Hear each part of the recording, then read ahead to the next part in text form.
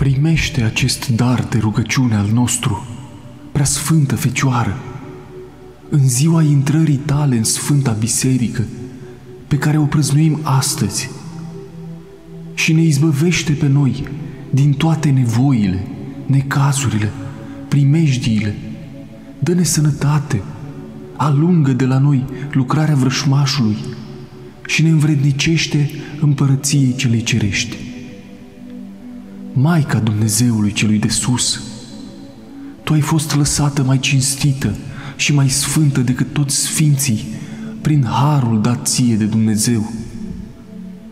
Maica a Domnului nostru Isus Hristos, Tu te-ai făcut pentru noi ușă de mântuire, munte înțelegător, scară însuflețită, pe care prorocii te-au vestit de demult. Apostolii te-au propovăduit, mucenicii te-au mărturisit, cuvioșii te-au slăvit, îngerii și pământenii slavoslovesc înaintea lui Dumnezeu pentru tine. În biserică, aducând Ana pe cea ce avea să fie casa Domnului, strigând grăia, Prunca cea dată mie de la Dumnezeu o aduc în biserica ziditorului. Primește-o, Sfinte Zaharia. Iar noi, minunându-ne de acestea, cuvântăm așa. Bucură-te, păzitoarea robilor tăi! Bucură-te, sfin, sfințita scăpare a păcătoșilor! Bucură-te, minunarea oamenilor!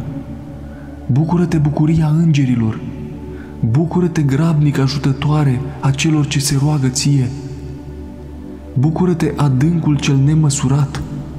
Bucură-te, chemarea prorocilor! Bucură-te, doctor al tuturor bolilor!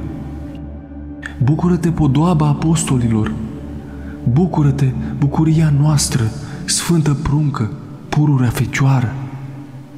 Astăzi ai strălucit în casa Domnului ca un sfeșnic luminos, sfântă pruncă, și ne luminezi cu cinstitele tale daruri ale milelor și minunilor tale, că ele sunt mai presus de minte omenească, că Tu ești Maică Sfântă, scăparea noastră a robilor Fiului Tău, și la Tine găsim scăpare în greutățile vieții, iar Ție îți ridicăm slavă și prețuire, acum și pururea și în vecii vecilor.